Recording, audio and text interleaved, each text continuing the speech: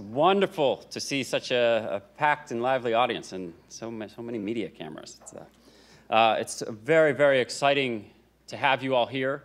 It's my pleasure as the Dean of the Business School at the George Washington University uh, to welcome you on behalf of the Business School and on behalf of the university as a whole.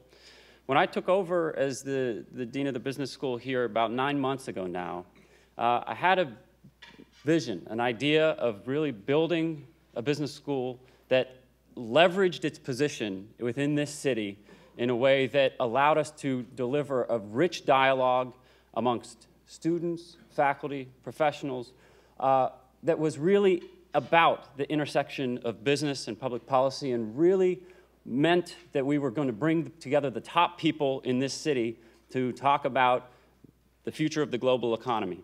Uh, we had a nice run up to this event last week, and it was an exciting uh, couple of days here. And we're back here again with an even more exciting event. Um, just to give you a little bit of uh, overview of what's going to happen today. Um, our speaker is going to speak for about 30 minutes, uh, and then we're going to have about 25 minutes of question and answer that's going to be facilitated by our own uh, professor of international business, Danny Leipziger. Um, so without further ado, let me, uh, please, please join me in welcoming President Steve Knapp to introduce our speaker.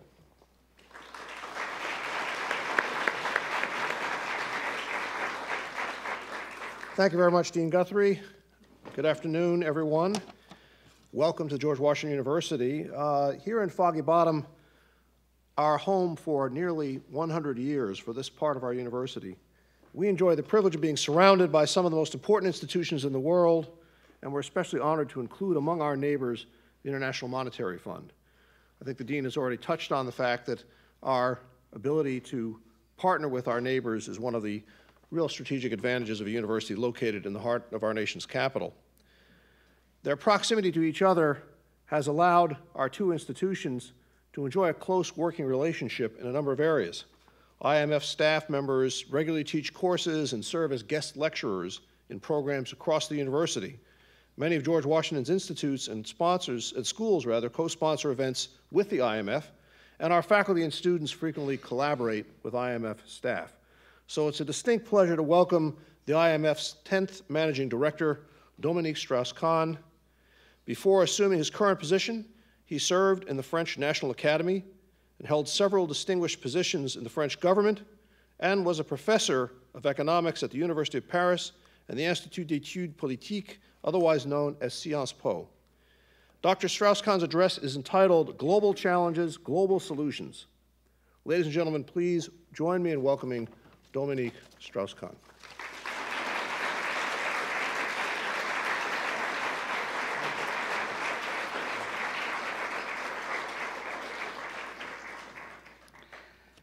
Thank you. Thank you very much.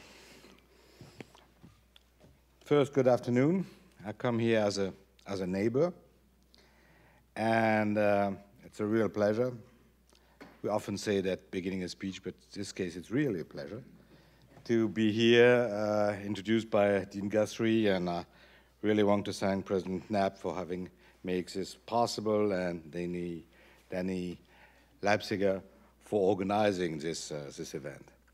I, I, say it's a pleasure because um, I really enjoy uh, speaking to children. You just mentioned that uh, previously I have been for a long time a university professor, and I did this during my tenure in the IMF in many places, from Seoul to Kinshasa, from Lima to Cambridge in the UK. So finally, it looks a bit a pity uh, having done this everywhere but not in Washington. And uh, where, what other places what other place than Washington University to, to do it nicely. So thank you again for uh, inviting me. Next week, as you may know, the IMF and the World Bank will have uh, what we call our spring meetings. We have meetings of this kind twice a, a year, but uh, uh the, the, the, the, fall meeting is probably more important. The spring meeting is just in between. And it's a moment where most uh, finance ministers and governors of central banks we're accountable to uh, are coming to Washington to discuss the state of the world and what kind of a decision have to be, to be made. And this time, we will have a lot to talk about because uh, really we're living a very special moment in uh, economic uh, history. Uh, why? Certainly because the financial crisis has devastated the global economy. Everybody knows this, um, causing uh, suffering all over the world. But that's not the only reason, because the crisis did more. And the crisis also devastated the whole uh, intellectual foundation of uh, the global economic order of the last quarter century. Basically, before the crisis, we thought, we economists, we, we thought that uh, the economists thought that uh, we knew how to manage economies, both advanced economies, emerging economies, low income. Uh, we knew what was the right thing to do, and the so-called Washington consensus that you certainly heard about uh, was uh, had a number of basic mantras. One was um, that simple rules for monetary and fiscal policy uh, would guarantee stability. Another mantra was that deregulation and privatization would unleash growth and prosperity. And a third one, but the list could go on and on, was that the financial market would correctly channel the resources where needed and at the same time that they will be able to uh, police themselves very effectively. And so the rising tide of globalization would lift all boats. That was the dream before. I say it with some humility because certainly myself, as many others, we took part of it somewhere more, had more criticism than others, but nevertheless, that's what the, the broad idea. And this came, this all came crashing down uh, with the crisis, and clearly the Washington consensus is behind us. What's the task before us? It's to rebuild the foundation of stability and make the next phase of globalization uh, work for all. And I think that uh, this rebuilding has three core areas. The first one has to do with a new approach to economic policy, the second with a new approach to social inclusion, and the third one has to do with a new approach to cooperation and multilateralism. But before I come to these three points, let me just say a few words about uh, the economic situation and the state of the world. As we all know, the global economic recovery is going on, but the problem is that it's very much in balance, more than has ever been. And it's in balance in two different ways. It's in balance between countries, and it's in balance within countries. And that two kind of problems that may uh, undermine this uh, recovery. In advanced economies, the, what is the problem? US, Japan, the European countries.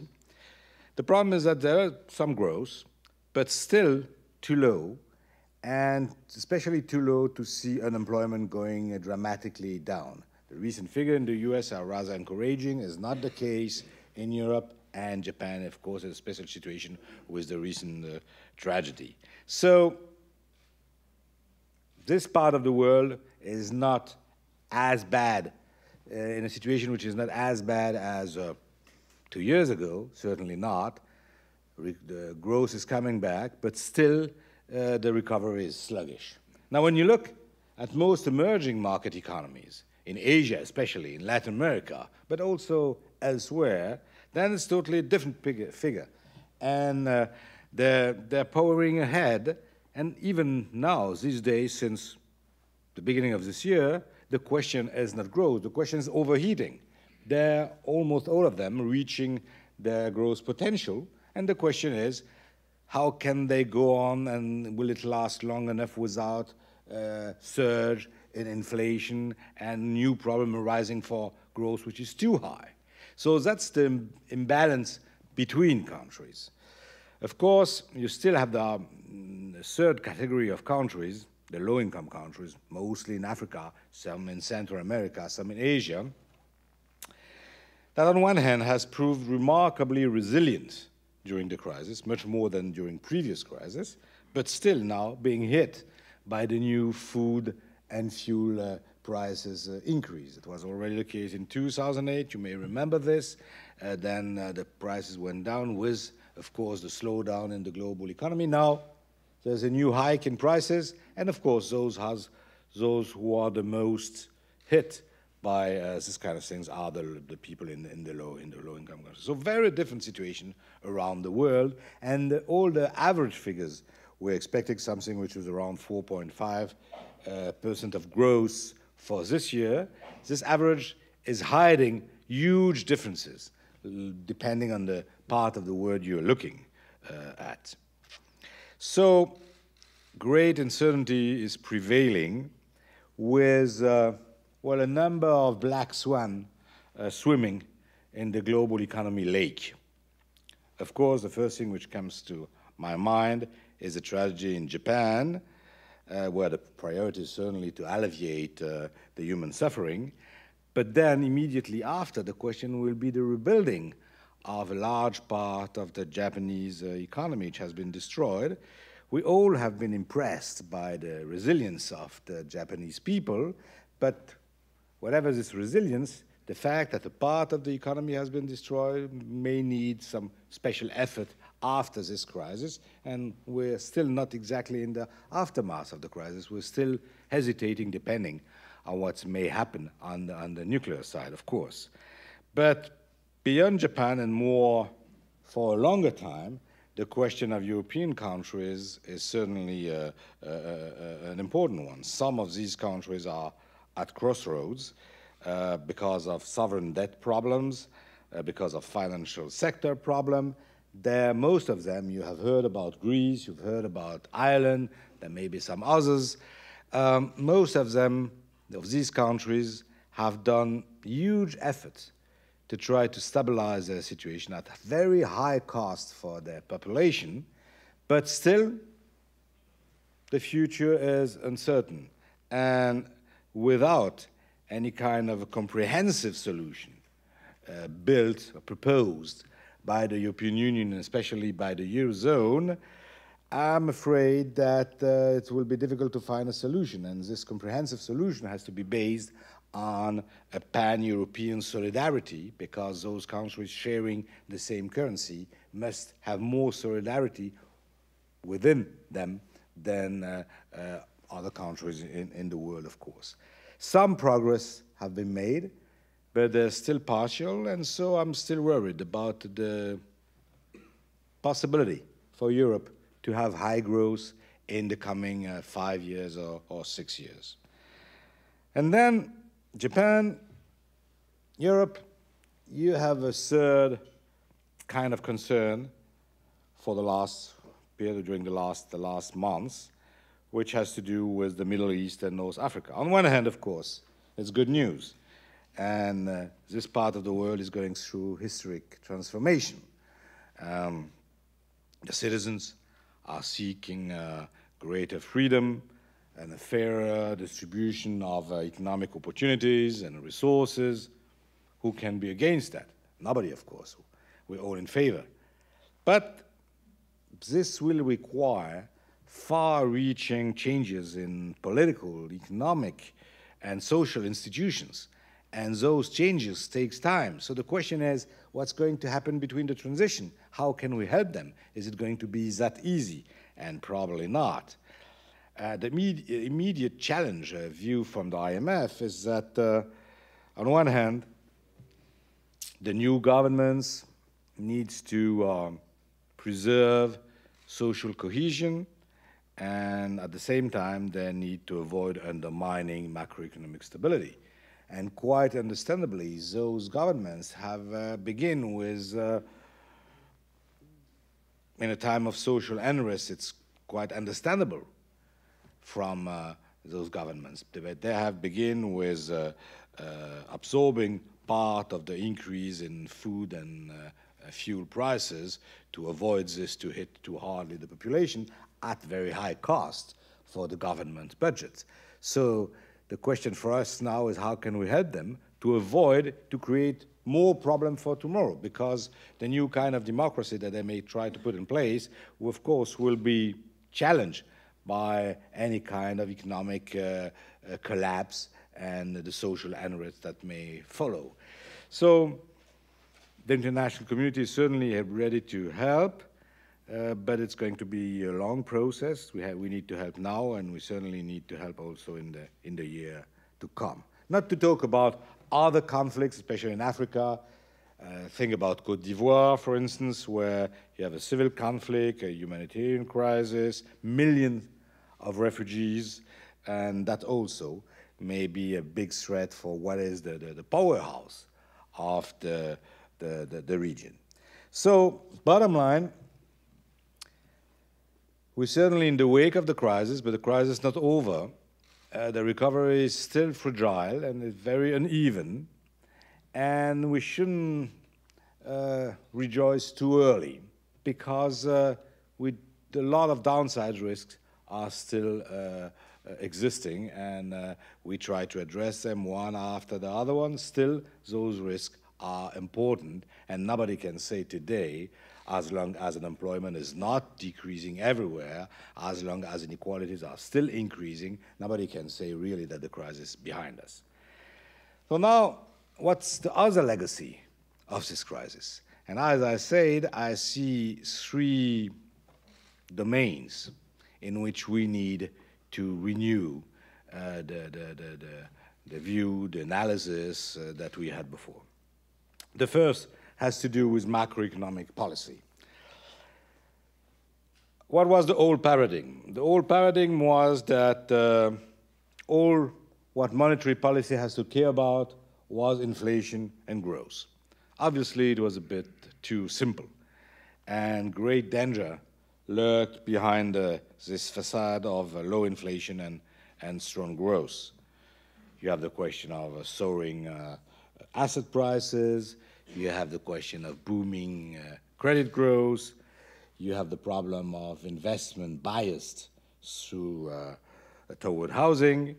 You can have a long list of problems of the, of the kind, which are not only inflation and only growth, also a, a financial crucible of uh, toxic assets, large current account imbalances.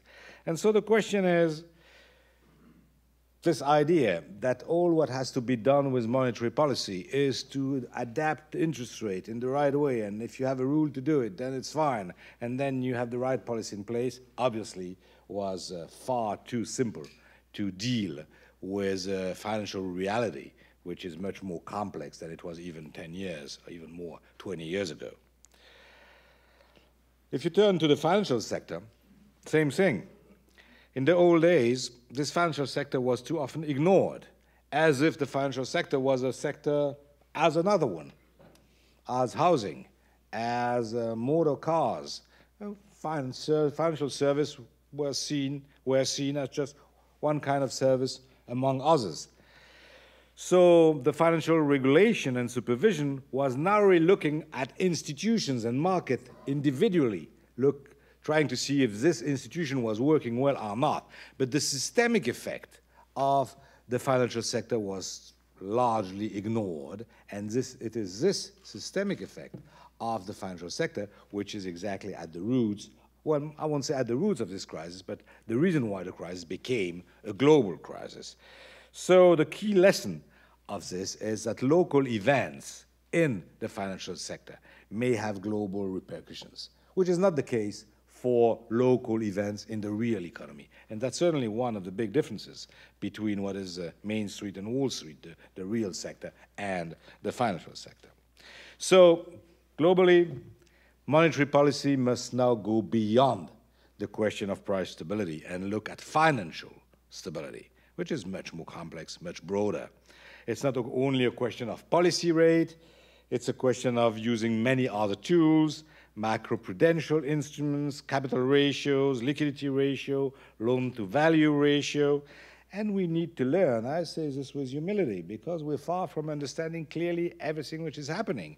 So we need to learn more how, uh, how to design and how to use these tools. That's a huge field for academics, uh, for future PhDs.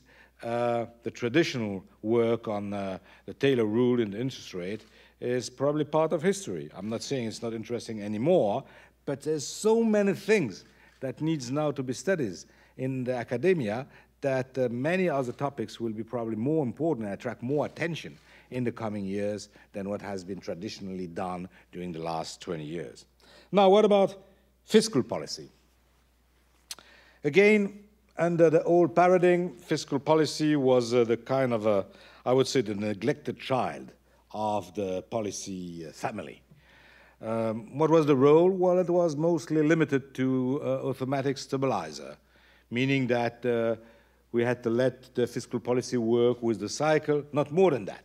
What we call discretionary fiscal policy was really regarded with uh, a deep uh, suspicion.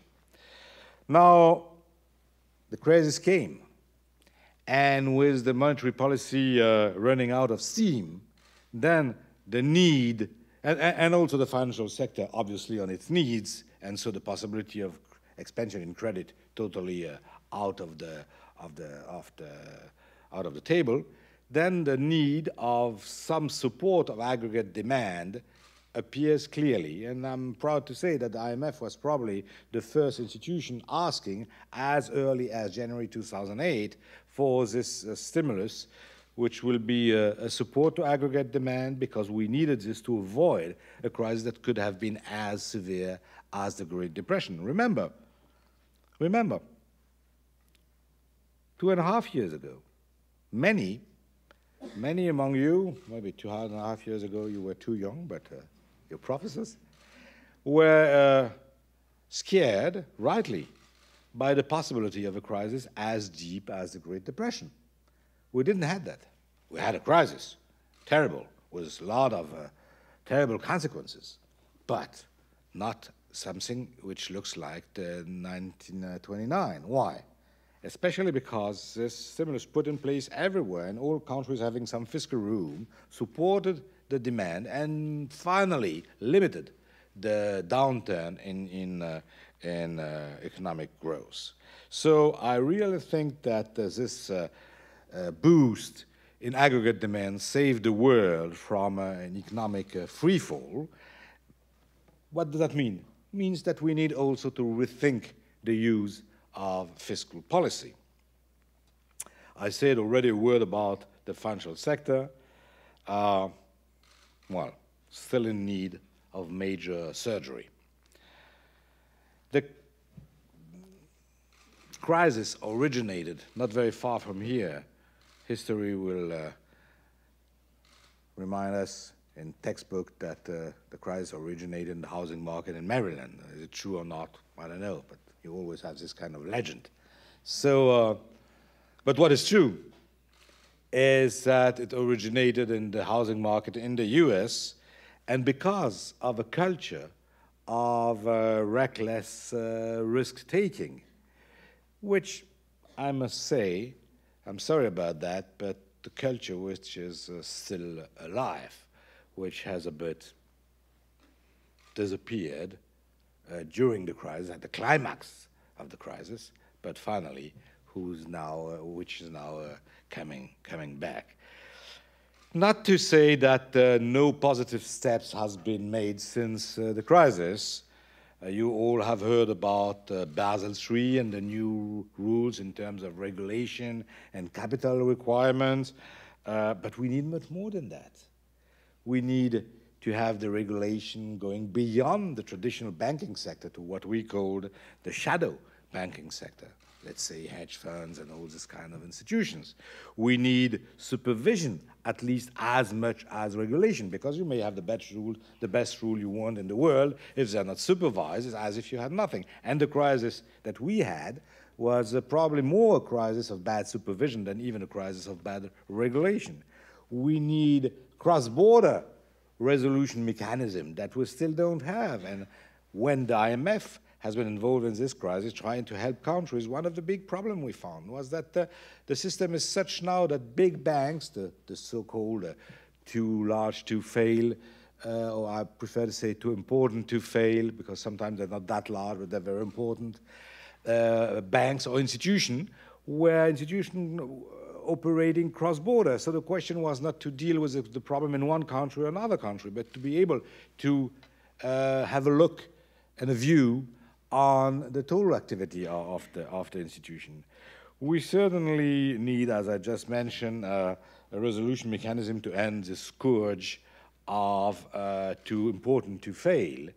And on top of that, and it may surprise some of you, having heard of uh, the old IMF, we certainly need, and that's what uh, the IMF has proposed to the G20 uh, almost one year ago in Toronto, we certainly need a tax on financial activities. So there's a different way to define this tax. I'm not going to elaborate on this, but the idea is very simple. The idea is the financial sector has to take risk. But on the other hand, that's his role.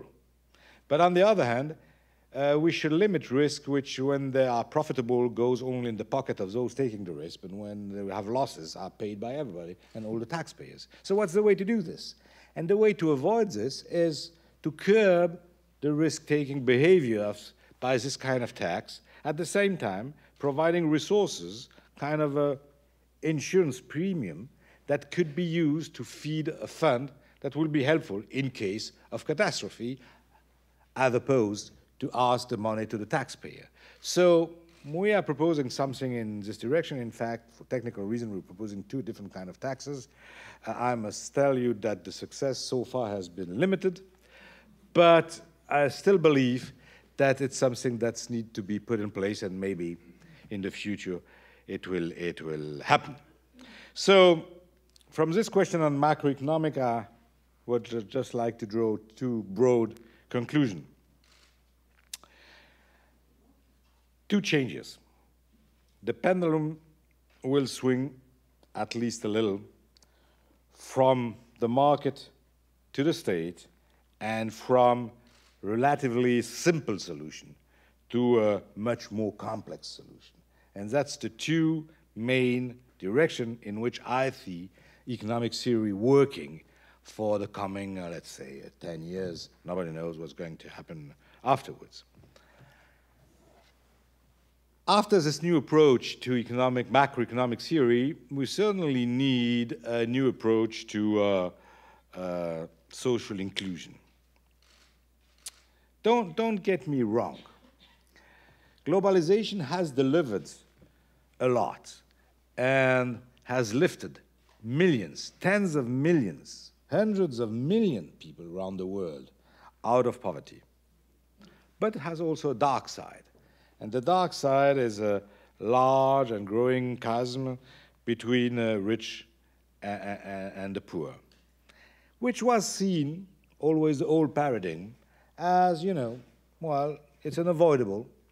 You have to pay this because for growth and for having uh, the average being better off, you have to accept this increase in inequality. And not a lot of attention was paid to this uh, problem. Partly because, and that's something I want to uh, underline, partly because this kind of inequality didn't appear so much at the beginning when globalization was trade globalization. But it appears in the second stage when globalization becomes financial globalization. And the financial globalization bring with it this kind of new uh, inequalities. The tendency, as I just say, was to downplay inequality. But uh, the crisis has uh, fundamentally changed uh, our perceptions. There's a kind of lethal uh, cocktail of uh, prolonged unemployment and high inequality, which leads to social unrest, and with social unrest to uh, threat to political stability and also to macroeconomic stability. But what you have to keep in mind is that inequality may, be, may have been one of the silent uh, causes of the crisis. What is really striking is something that you all know, but I like to uh, remind it to you, is that uh, income inequality, as measured in the United States as the share of the, the 10%, the, the first 10% uh, of the income distribution, dramatically went down after the crisis of uh, the, the, Great Depression in, uh, the, in, in the 30s, stayed rather low. The share was about 30% of total income until the beginning of the 90s and started to increase again to reach almost exactly the same level at the, uh, at the onset of this crisis that the level was what reached in 1929. Why is it so? What's the link between inequalities and this the kind of crisis that we have? It's very easy to understand. The reality is those kinds of inequality made the middle classes and even the poorer classes in different societies, not only in the US, same thing for Europe, same thing for other countries, made those people having a real problem of purchasing power. And the only way to avoid to have uh, to see his own purchasing power decreasing was borrowing. And so everybody was happy. The financial sector was happy to increase its market share in developing credit. Credit has been given to people who were not always able to repay or were able to repay in a stable situation but will be very fragile to any kind of external shock. And so the mechanism put in place was low increase in wages, but compensated by a large possibility of borrowing. Of course, this leads to the kind of crisis that uh, uh, we had.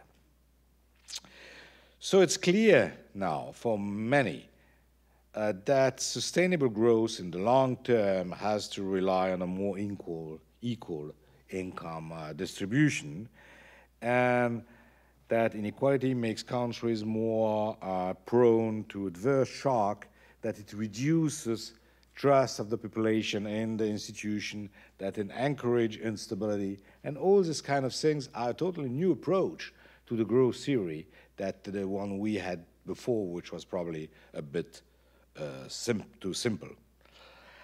Clearly, we need a new form of globalization, a fairer form, a globalization with more a human face. You all heard about the invisible hand. Uh, I, I, like to say that uh, the in invisible hand uh, must not become the invisible fist. And that's really the question we have to face in, in the coming years. And then the third point after macroeconomic theory and after social inclusion. The third one has to do with uh, some remark, I will be short on this, on uh, multilateralism. The crisis has taught us a lot of lessons. Probably the greatest lessons is that cooperation is non-negotiable, non-negotiable for, for stability. I just say that we avoided something which could have been as uh, dramatic as the, the Great Depression. A large part of the merit, well, a large part of the merit comes to, to, to the IMF, but besides the IMF, a, large part of the merit comes to the G20. Because this G20, you know, this group of the 20 biggest economies, the G20 was a, has been able to work together and cooperation was really the, the word of the day during the end of 2009, 2000, uh, 2008, 2000, year 2009, and even the beginning of 2010. The reason was mostly that the head of state were so scared that nobody wanted to follow its own route and everybody wants to be in the, in the tribe. But sometimes fear is a good incentive to go in the right direction. So working together, putting in place the stimulus everywhere where it was possible together, trying to put new kind of rules in the financial sector together, having the right monetary policy put in place everywhere, providing the liquidity to the, to the banks everywhere in all the countries. And this being done in a coordinated way was certainly the reason why we avoided this possible uh, collapse of the, of the global economy. The question now is, of course, that uh, in the aftermath of the crisis, the momentum for cooperation is not as strong as it was before. And for understandable, and understandable reasons. Governments are coming back home, they have their own domestic political problem, they want to deal with their own problem, and they forget a little about the need for cooperation. And there's a tendency, I won't say we're totally back to a pre crisis situation, it would be unfair. But the momentum, the willingness to work together, still there, but not as strong as it has been two years ago. And that's a bit worry for me, because a cooperation is obviously something that we need, crisis or in the wake of the crisis, because we're in such globalized world that there's no domestic solution to global problems. And that's why certainly um, multilateral institutions, not only the IMF, the World Bank, some others, well, I don't see many others, but at least the, the IMF and the World Bank, uh, will become, in my view, more and more important. The World Bank for development and project financing, the IMF for uh, macroeconomic environment and uh, economic uh, policy. But of course, to become more important as the place where this multilateral coordination can take place, they need to adapt themselves. It cannot be the same institution that the institution they were 10 years ago. The IMF has made many changes. We have renewed, well, almost everything. Uh, the early warning system that we had was obviously flowed. It's always very difficult to predict a crisis. You know, crisis is a bit like earthquake. You may say there is a risk of earthquake in this part of the world. You never know exactly when, uh, even if the earthquake will take place. It's a bit the same thing for crisis. So we were able in the IMF to say that there was some vulnerabilities in this sector, this sector. But of course, we didn't say uh, a crisis will come and uh, at this time in, in, this in this field. Some some uh, academic fellows did. They had a very uh, secure way to do it. They are saying on and on for 10 years that a crisis will come. So one day, they're right. Uh, we, we can't do exactly at that way, and so we have been fairly enough criticized for not having a system in place which shows enough the vulnerability. So we have renewed totally our early, uh, our early warning exercise. Uh, we have uh, created new kind of reports. We call this spillover report. What that? It comes from the fact that the IMF, as you know, founded in 1944 in, in Bretton Woods in New Hampshire, uh, had the basic idea of a kind of surveillance by the IMF on the council is members of the institution. And now we have 187 members in, in member countries. But it's defined or designed as a bilateral surveillance. The IMF is having a look the, what's going on in the country and say the country and the world, but mostly the country, well, what you're doing is good, not that good, you should go faster than this or, or, or slow down on that, good. But bilateral surveillance is not enough.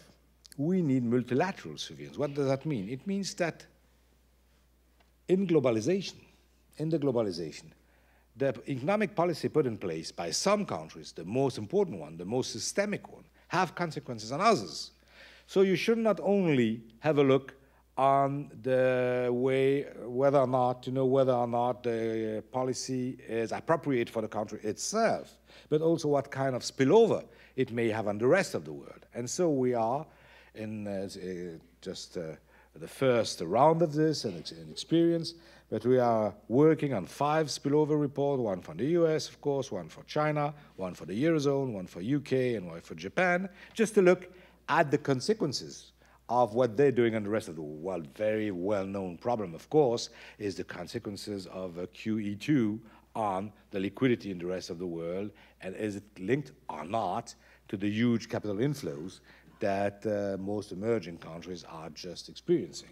So this kind of thing is totally new, and of course it's adapting the institution to the new state of the world. Uh, many other things, let me go fast on this.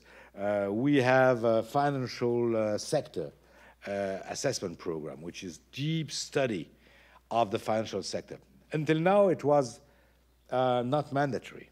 So a country may ask the IMF to do it and accept for the IMF to do it or not. Now it becomes mandatory, it has become mandatory for the 20 big, a little more than the 20 big economies. Uh, surprisingly enough, two countries had refused before the crisis this kind of FSAP, we call them uh, China and the US. Uh, I'm not saying that if there had been an FSAP before 2007 in the US, we will absolutely be sure to, to find and to avoid the crisis. I'm not saying this. But at least if you don't have in-depth analysis, you have no chance to be able to know what's going wrong. So now all this is becoming mandatory, and certainly it will increase the knowledge of the vulnerabilities and make it possible to, uh, to fix this. Same thing, I would say, on monitoring the, the, capital flows. Same thing on a very important exercise which is made by the G20, but technically done by the IMF, what we call the MAP, the Mutual Assessment Program, which is basically taking all the forecasts and the policies the different countries, the 20 big countries have in place, or how they see themselves the coming two or three years. We put all together and we tell them it's interesting, but it doesn't fit or it goes together, but the result is not that good and you could do better. And if everybody is doing his own work, then uh, everybody can be better off. So the question is not only to try to, you know, it's kind of a cooperative game. You cannot only do what you believe is best for you, because what maybe doesn't appear to you as being best for you at the first stage will become best for you if everybody does the right thing. And that's obviously the case for the global imbalances problem. So there are many other things like this which have totally renew the institution, but it's not enough. And that's my last point, which is that multilateralism has to go with globalization, but multilateralism needs a legitimate institution. And the legitimacy of an institution like the IMF has been at stake because it's true to say that uh, it's an institu institution which is based on uh, voting power and shares. We call that quotas. Quotas are supposed to reflect the size of the different economy, more or less. And it wasn't the case. It wasn't the case because the emerging markets have grown and grown during the last 10 years, even more, and their share, their voting power, their voice in the institution hadn't increased in the same at the same pace.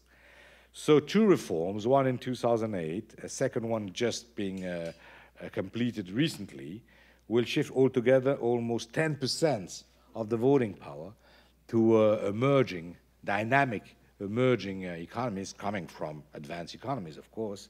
And this rebalance more or less, nothing is perfect, but more or less now, the, the voices in the IMF are in line with the, the size of the different economy in the world.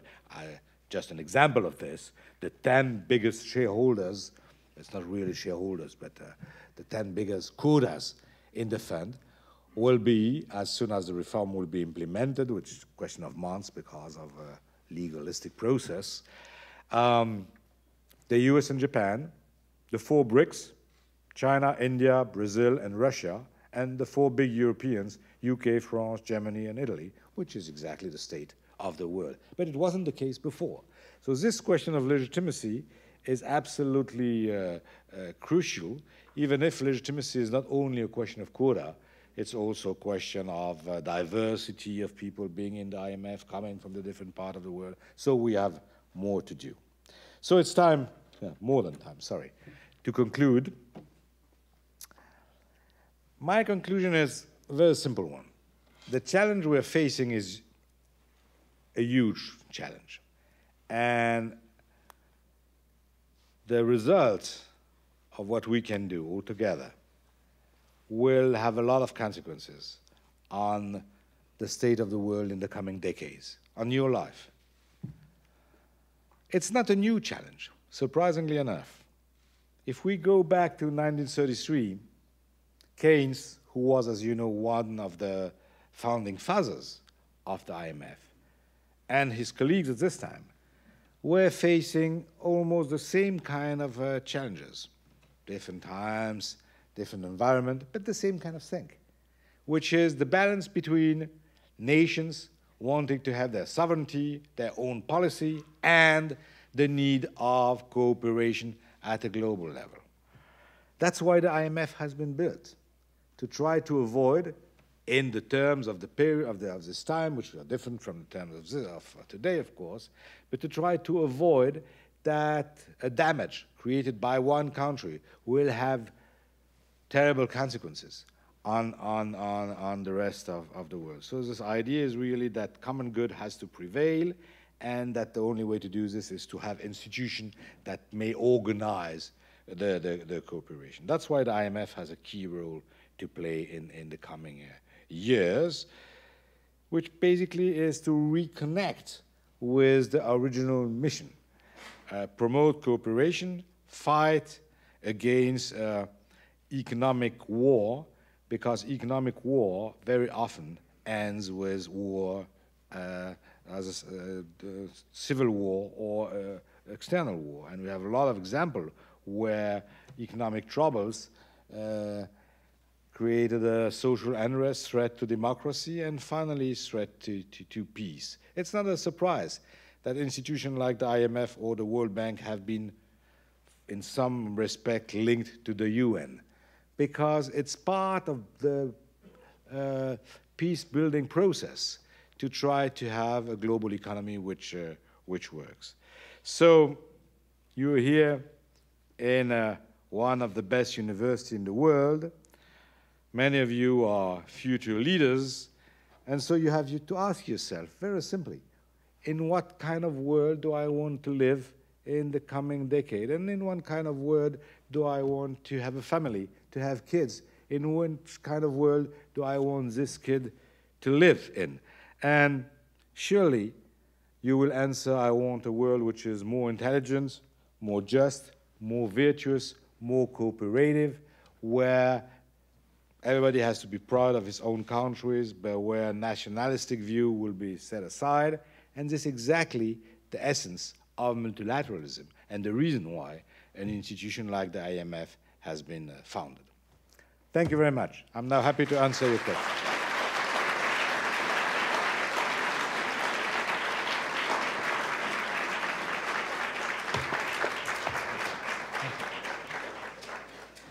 The managing director has uh, kindly agreed to take a few questions. Uh, we're going to give priority to students um, uh, rather than professional uh, uh, attendees.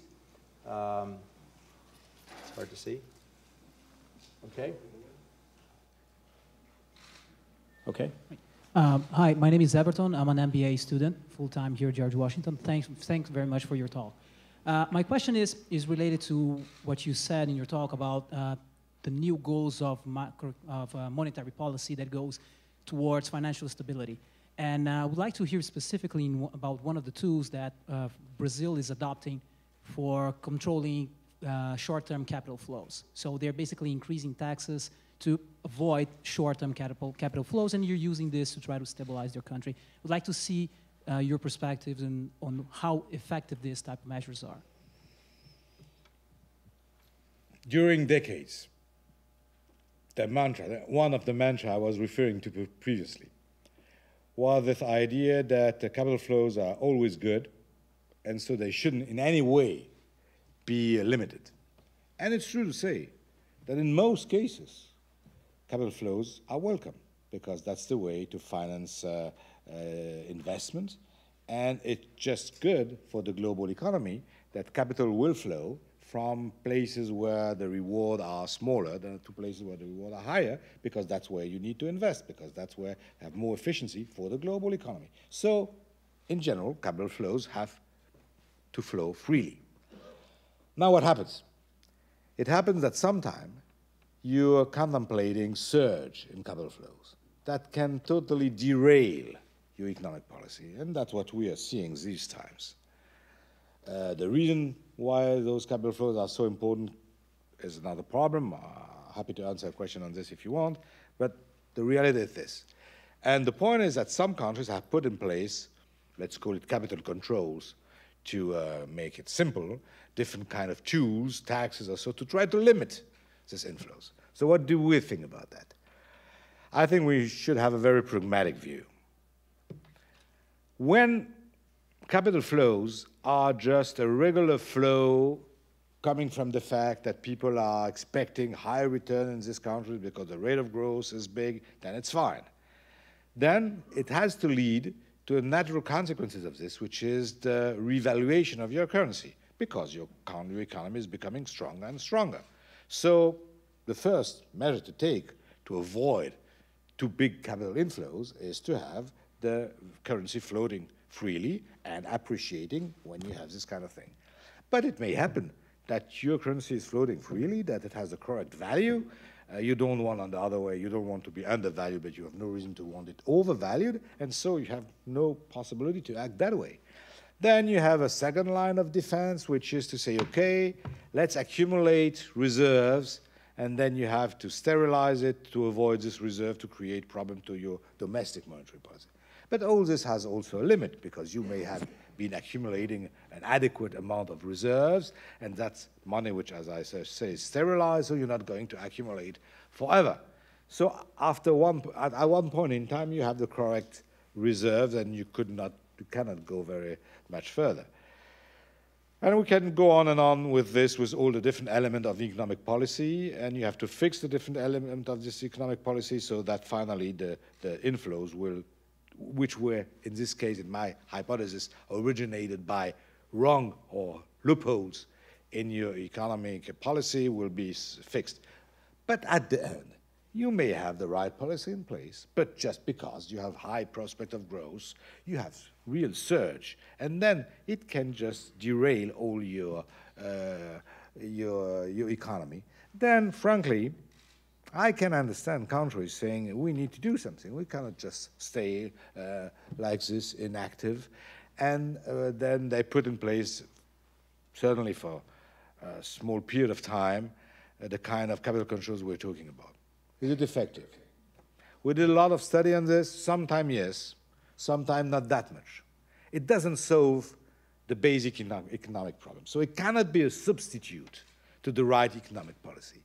But when the right economic policy is in place, then it can be necessary for a temporary, on a temporary basis to use this kind of thing. That's why I said it has to be a pragmatic view and not, you know, a kind of ideological view saying never. Uh, certainly, we're certainly not in this mood today.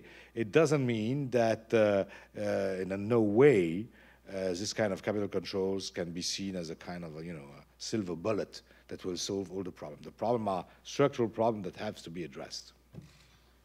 Go to this side. Hi, thank you again. I'm Kanika Metre. I'm a second year Master of Public Administration student.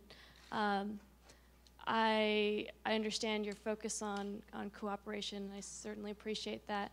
Uh, I was wondering, in terms of at, at the IMF, uh, emphasizing integration uh, for Europe and also tackling unemployment, whether labor integration fits into that, and if so, how? Well, the cooperation between, uh, if, if, I understood well your question, you, you, correct me if I'm wrong. The cooperation we have with Europe uh, has, uh, is a kind of a special thing for us, because usually we're working with, uh, with countries and for the first time, we're dealing with uh, some strange animal, which is uh, the European Union or the Eurozone. Um, well, I won't say it's so helpful, but uh, it's fun. Uh, now, the question is that uh, a lot of things has to be done in Europe. Uh, that was previously already listed by the different analysis that the IMF did on the different countries. Germany, UK, uh, Italy, France, or smaller countries, not exactly the same thing in the different countries, but finally Europe is rather homogeneous and so looks, uh, uh, there are a lot of differences. When you're inside, you only see the differences between the Brits and the French and the German and the Italian. When you're outside, they're Europeans. And, and they have the same kind of problems. Uh, labor market, certainly, and structural reform on the labor market, uh, rigidity, in the economy more in some economies than others. Again, there has to be a nuance, a lot of nuances, but nevertheless. Uh, so different kind of, of reforms uh, have to be put in place, which may be the way to avoid the sluggish recovery they're uh, experiencing now and the risk of a rather long period of, of, of, slow growth. But what is important, and that's why maybe this reason why you started with the, the emphasis I put on cooperation, is that uh, this crisis has really been a test for the European system, and I won't say such a successful test, because uh, the governance of the system worked well uh, in quiet times. But when the crisis came, well, in the crisis itself, at the apex of the crisis, as everybody, as I said, everybody wanted to work together, it was okay. But just after the crisis, where we're now, um, the governance appears to be, let's say, a bit heavy and uh, making the decision-making process a bit long. Uh, and sometimes uh, that long that we're still expecting the result. And uh, so in many cases in Europe, the problem that has to be solved is that those countries, and I have been one of the founders of the euro, I was finance minister in my country when the euro has been created, so in no way I'm saying that uh, uh, it was a wrong move, on the contrary, but this move to create the euro and having uh, 12, 11 countries at the beginning, uh, uh, now five more uh, together, this act means that you can't just create a, a, a single currency and then say, well, the job is done, it's over. It's the start, the, the, the beginning of a process. And it has to go on more and more in terms of economic cooperation and economic integration. And this question of having a single currency but very different economic policy in the different part of the Eurozone is exactly at the root of the crisis that uh, we are contemplating this time in Greece, for instance, in Ireland, where we have program in other countries. Uh, don't want to make a long list.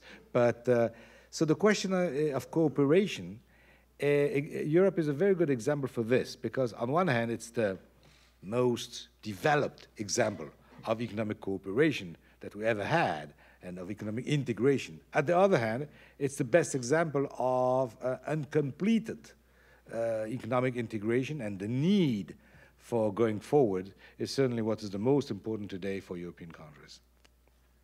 Do you have time for one or two more, or are we close to the end here? Okay, take you, but. No, I'll try to be short. That's my fault.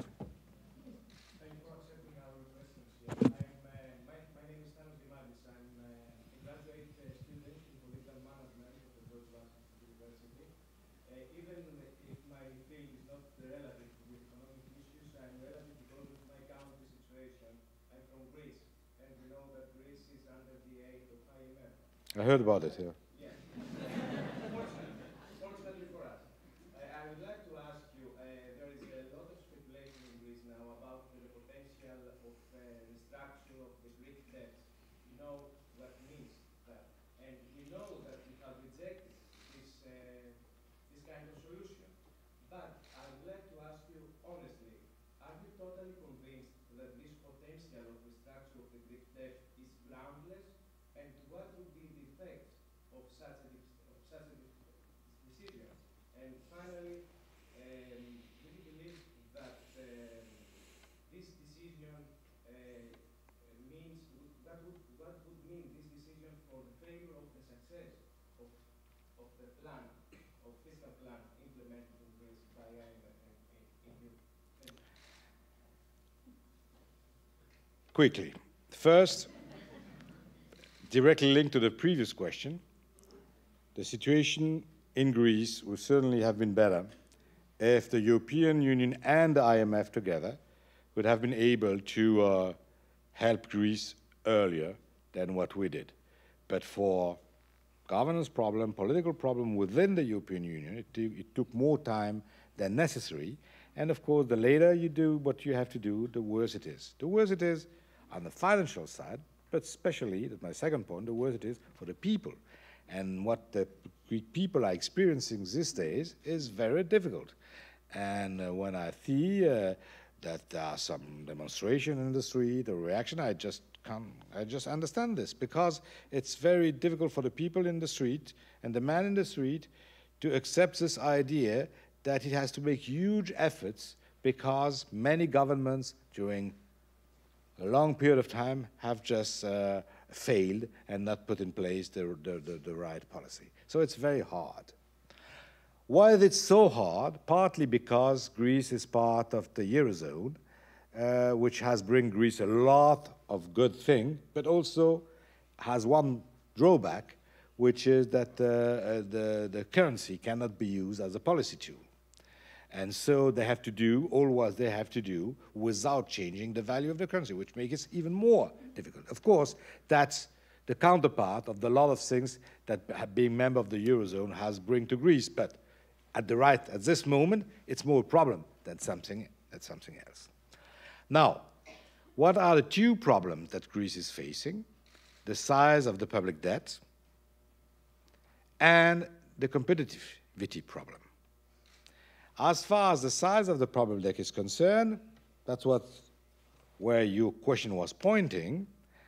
Uh, the program which has been designed by the European and by the with IMF tries to put back Greece on track as soon as possible without the need of any kind of default. And I know that recently in the press it has been written that uh, the IMF was in favor of uh, different kind of uh, uh, change in this policy. I want to deny this. We are supporting the Greek government in his position that he doesn't want a restructuration of the debt.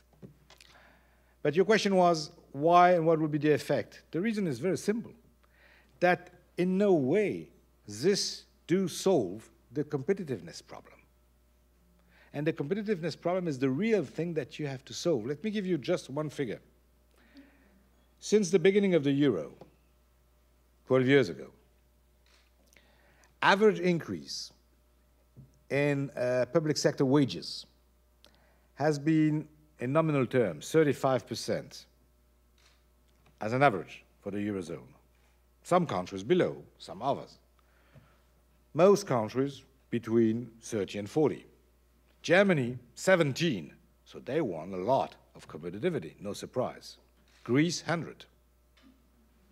So the question of competitivity has to be addressed. You can't avoid it. And that nothing to do with the debt, has to do with the competitivity of the Greek economy, because there's no other way to finally succeed in having the debt ratio decreasing than growth. So you have to restore growth in Greece, and to restore growth in Greece, you have to restore competitiveness. So that's the real problem, and that's what we try to address. I think we'll take one last uh, question from this side. You seem eager. I'll pass this back. Please give your name. Please tell us who you are. Hi, I'm Danny Silverstein. I'm a senior in in GW. I had a question regarding environmental, uh, environmentalism. Um, so recently, a lot of organizations worldwide have taken a turn towards economic, social, and environmental sustainability. Um, I wanted to know the IMF, uh, what, what, are their initiatives, considering that they do impose uh, some uh, policy changes when they, when they want um, countries to qualify for their loans. Hmm. Thank you. That's a very good point.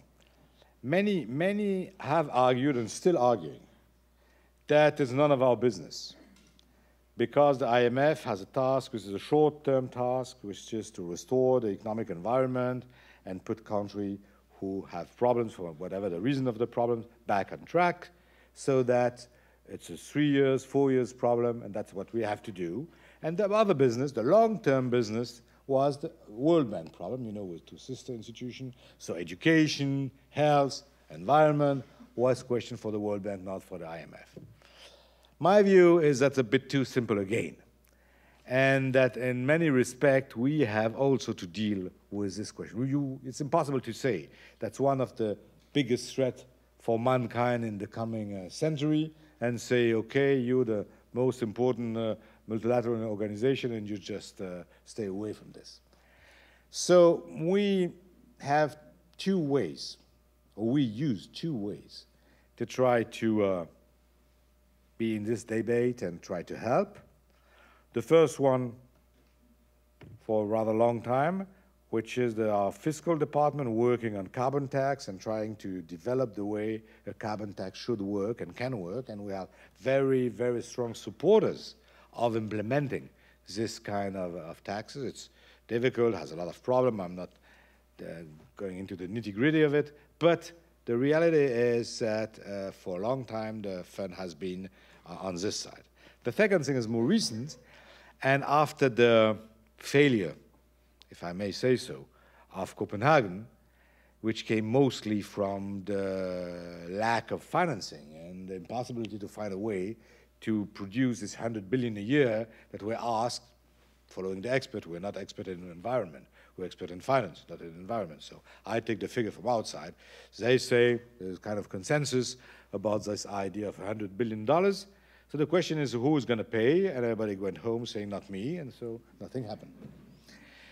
So we proposed something which again hasn't been accepted so far at the, by uh, the global level, which basically is based on uh, the special drawing rights that the, the fund is likely to uh, issue, uh, which has been useful during this crisis to provide liquidity to countries, which may help to the global international system as a, as a quasi-currency, not a currency, but something that could be used as a currency. Based on this, we built kind of cathedral, and some has told us it's too big a cathedral and it will collapse, but okay, that was able to provide this 100 billion a year to finance uh, environmental question, both mitigating the climate change problem and helping countries to develop new kind of green energy and, and, and green growth.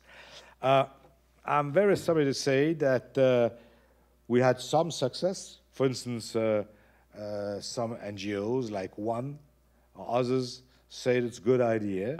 Uh, um, the Prime Minister of Ethiopia, which who is very much engaged in this, uh, Meles Zenawi, and, uh, and, in name of the African Union, was a big supporter of this idea, but it was not enough. And so, so far, this idea hasn't in any way been implemented.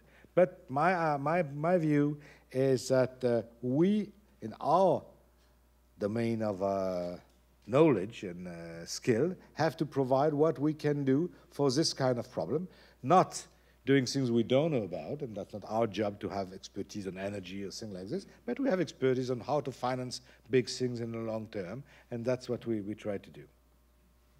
Okay, I think, given your schedule and uh, I can see the looks of some of your staff, it's uh, time to thank the managing director for his wonderful address to us. Thank you. Thank you so much for coming. Good. Okay. Thank you.